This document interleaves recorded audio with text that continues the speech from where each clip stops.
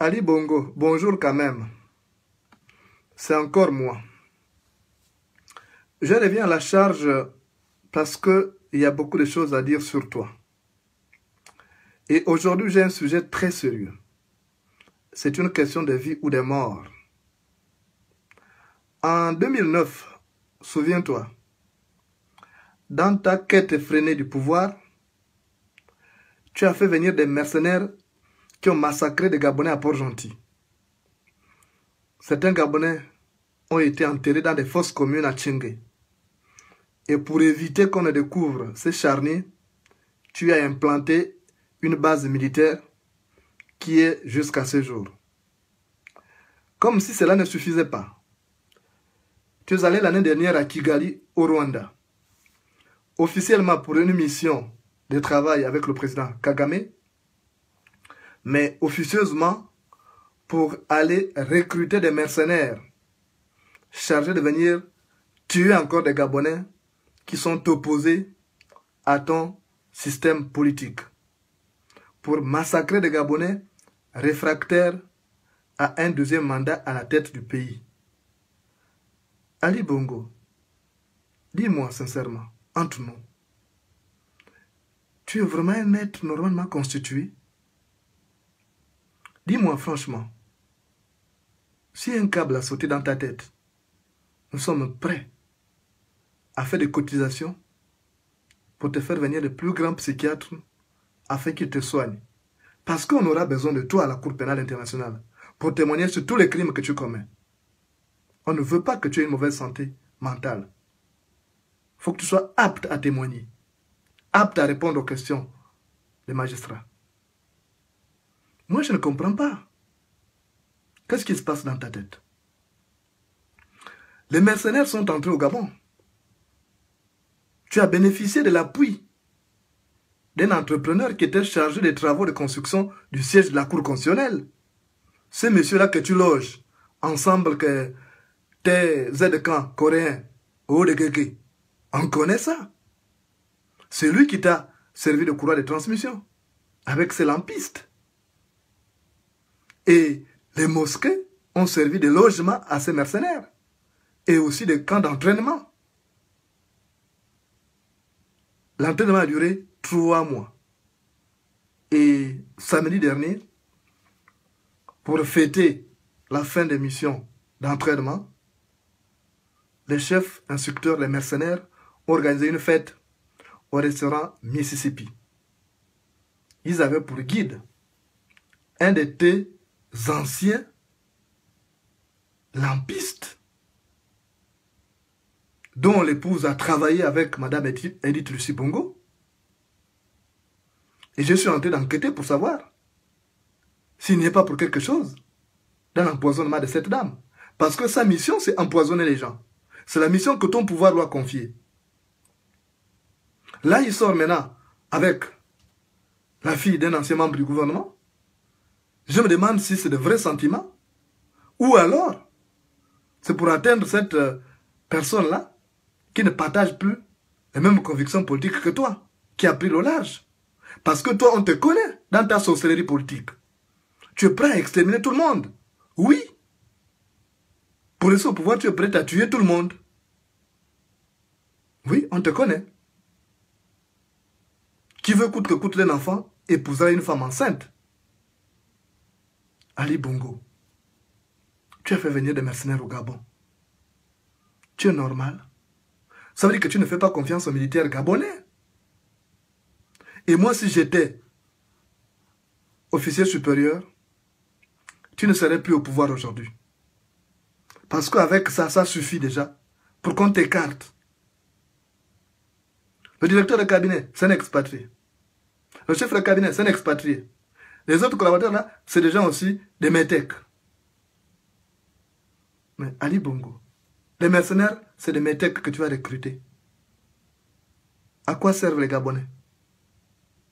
Parce que c'est l'occasion pour moi de demander aux officiers supérieurs de l'armée gabonaise de prendre leurs responsabilités parce que tu ne fais confiance à personne. Oui, il faut qu'ils prennent leurs responsabilités. Parce que les massacres après, ça va retomber sur qui? Sur les militaires gabonais? Puisque ces gens-là, tu les habilles. Ils portent les tenues militaires euh, gabonaises. Oui. On dirait que ce sont les militaires gabonais qui ont tué. À Port-Gentil, lorsqu'il y a eu massacre, on a pensé que c'était les Gabonais. Alors que c'était des Angolais, des Togolais, des Béninois et des Libériens. On connaît ça. Moi, j'étais sur le terrain quand ça chauffait à Port-Gentil. J'ai écouté des langues qui étaient étrangères au Gabon. Et puis, de toute façon, les Gabonais se connaissent tous. Les militaires gabonais ne peuvent pas tuer sur leurs propres parents, sur leurs propres amis, sur leurs propres frères, leurs propres sœurs. Et c'est la raison pour laquelle le sorcier politique que tu es, tu es allé recruter des, des mercenaires à l'étranger. Mais rassure-toi, cette mission que tu leur confies là va finir par ta propre déchéance. Oui, le vin de maïs ne nuit pas à celui qui le prépare, mais à celui qui le boit. Donc tout ce que tu fais là, ça va se retourner contre toi. Le mal que tu, es en train de planifier en ce moment pour rester encore au pouvoir, pour briguer un deuxième mandat, ça va se retourner contre toi. Quand tu pisses en étant couché sur le lit, avant que quelqu'un d'autre ne soit mouillé, toi-même tu seras trempé. Il faut que tu le saches, Ali Bongo. Parce que les actes que tu poses en ce moment ne sont pas de nature à garantir la paix sociale au Gabon. L'affaire de l'ambassade du Bénin. On connaît ce qui s'est passé. L'ambassade n'a pas été brûlée à l'instigation de Madame Annie Léa et de Madame Toussaint. C'est un de tes conseillers chefs de gang qui a commandité cet incendie criminel. Parce que dans les clans politiques qui se disputent des largesses, il est dans le clan foncièrement opposé à Krombessi, ton directeur de cabinet. Et il pensait que avec cet acte-là, ça va créer un incident diplomatique et qu'il tu feras en sorte que tu te sépares de lui. C'est pourquoi il a commis cet acte-là. Ça n'a rien à voir avec l'Union nationale. La preuve, c'est que bien avant même euh, de l'enquête, on a commencé par indexer cette dame-là. Ça, c'est quelle enquête que tu as menée? Pour les crimes rituels dont tu es bénéficiaire L'enquête, les enquêteurs ne sont pas diligents. Maintenant, pour les, affaires qui concernent le Bénin, comme c'est le, pays de ton ami personnel à Combessi, dis-lui aussi qu'il m'attend, j'arrive. Comme ça concerne à Combessi, c'est pourquoi tu fais cet excès de zèle là, et tu n'aimerais pas que ça tombe sous tes pieds, parce que ça ferait une mauvaise impression. Mais nous, on va écrire au Bénin. On dirait au Bénin que ce sont tes collaborateurs qui ont brûlé l'ambassade. Et puis on voit ce que ça va donner. Il ne faut pas fatiguer les Gabonais. Ça veut dire quoi ça? On ne peut plus vivre en paix dans notre propre pays Tu ne fais que persécuter les gens Ali Bongo, toi tu as vraiment un cerveau? Tu réfléchis suffisamment? Un président de la République aussi mesquin Tu es un chef de voyous, tu es un chef de gang, tu n'es pas un président de la République. Tu n'as pas coupé le cordon avec ton enfance. Tu as encore le lait à la bouche. Il faut que tu grandisses. Parce qu'on est fatigué de tes vilainies. On est fatigué de tes enfantillages. Tu tires le Gabon vers le bas. Et ça, nous, on en a marre. Il ne faut pas nous gaspiller notre pays. On en aura besoin. Moi, je te dis hier, il faut que tu te dégages. C'est pas parce que tu as recruté des mercenaires que les Gabonais auront peur. Tout ce que tu peux faire là, tout est plat. Dieu te voit. Et Dieu va faire en sorte que tout est plat échoue. Tu n'as pas toutes les prophéties là qui sont faites sur toi? Mais si tu étais encore un être normalement constitué, tu aurais démissionné. Tu aurais créé une situation comme euh, celle que tu voulais faire prévaloir la fois dernière. Consistait à aller à l'hôpital te faire soigner. Et puis quelqu'un d'autre prend les choses en main. Parce qu'on ne peut plus continuer avec toi. Oui, tu tires notre pays vers le bas. Tu as recruté des mercenaires pour tuer les Gabonais. Parce que tu voulais gouverner qui? Les cimetières? Bien tu veux gouverner seulement ta famille. Mais nous, on est fatigué de toi, Ali Bongo. Tu me fatigues. Il faut que tu bouges et tu nous lâches les baskets. On veut vivre en paix dans notre pays. Et tu n'as pas pu le diriger. En cinq ans, tu l'as abîmé. Rends-nous notre pays. Nous ne veut plus continuer à être gouverné par un despote. On veut donner la chance au Gabon de décoller. Mais on ne peut pas décoller avec des criminels comme toi et tes amis. Oui. Le palétuvier sauvage danse mal à cause de ses tentacules. Nous ne veut plus de tentacules comme vous comme ça. Il faut que vous dégagez. Les mercenaires que tu es allé recruter vont se tourner contre toi. Ça, il faut que tu le saches. Tu as trop fait de mal aux Gabonais. Et si tu imagines le nombre de personnes qui sont mortes à cause de toi et de ta famille. Jeudi dernier, ta maman m'a appelé pour me dire, tôt ou tard, je verrai ton corps ici au pays. Donc ta mère est convaincue qu'elle sera la dernière Gabonaise à mourir, que moi je vais mourir avant elle. Tout ça parce que vous m'envoyez les sbires pour me faire assassiner. Mais, Ali Bongo, rassure-toi.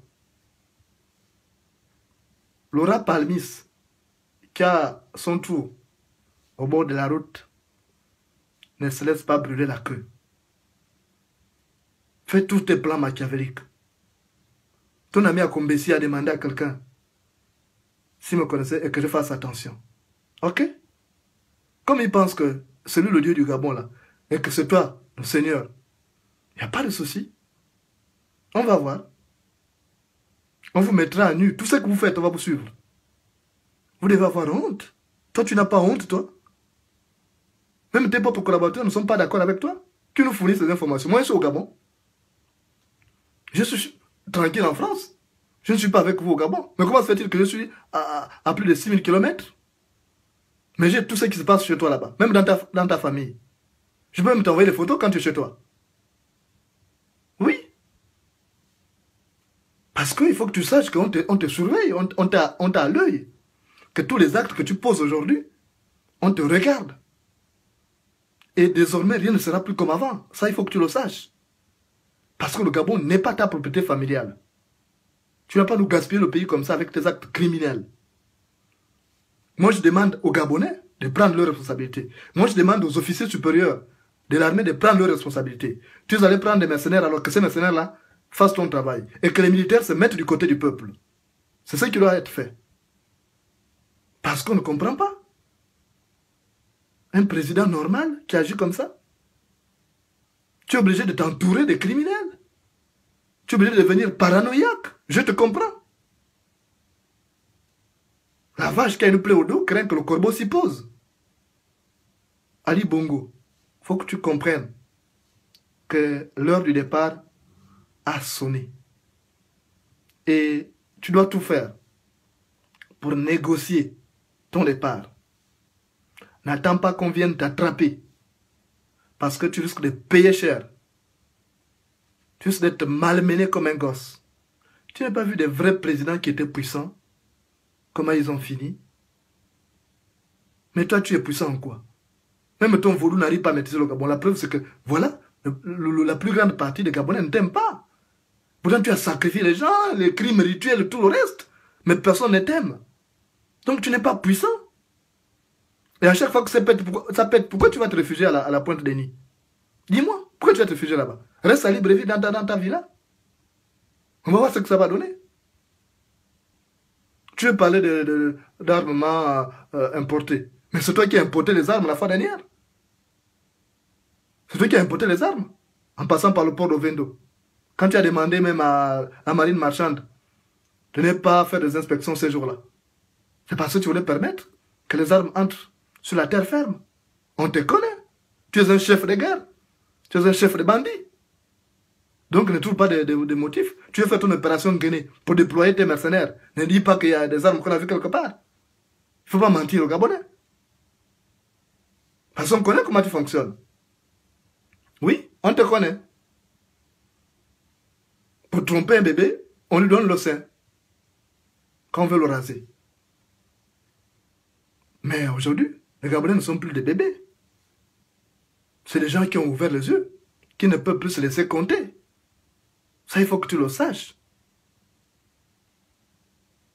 La poule qui a les yeux ne mange pas la graine d'arachide pourri. Ça, il faut que tu le comprennes. Aucun Gabonais ne va plus accepter ce qui s'est passé. Tu as eu la chance en 2009 que tu avais le concours du président Sarkozy et des autres. Mais les contextes ont changé. Massacre les Gabonais. Tu verras ce qui va se passer.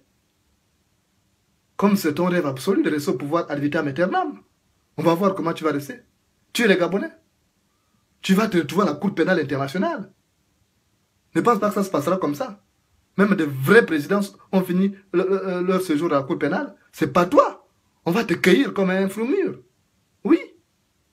Tu iras où? Tu vas te cacher où? Tu n'as pas de bon rapport avec le voisin. Tu iras où? Dis-moi, tu vas te cacher où? Tu es mauvais comme un pou. Personne ne t'acceptera chez toi. Tu as vu Compaoré? Compaoré où aujourd'hui? Obligé de manger le pain au chocolat avec euh, un fanta. Mais toi, tu finiras comme ça. Tout l'argent que tu détournes là. Mais tu ne vas pas t'en servir parce que nous, on va tout rapatrier. Tout reviendra au Gabon. Oui, tu peux compter sur nous. On va retrouver tout ce que tu as caché à l'étranger. Ici en France, nous sommes en train de recenser, tout est, bien mobilier. Oui. On est en train de tout recenser. Tout est bien. Tous les appartements que tu as achetés là avec notre argent. On va retrouver ça. On va récupérer. Ne pense pas que ça va revenir à ta famille. Non. Tu n'auras pas l'occasion de jouer de tout ça. Parce que tu seras à la Cour pénale internationale. Ça, moi, je te le dis. Moi, j'ai du suite avec les amis. Je suis à la limite même un peu plus conciliant. Mais les autres, mais tu auras chaud. Tu verras ce que le chien avait vu en Zion.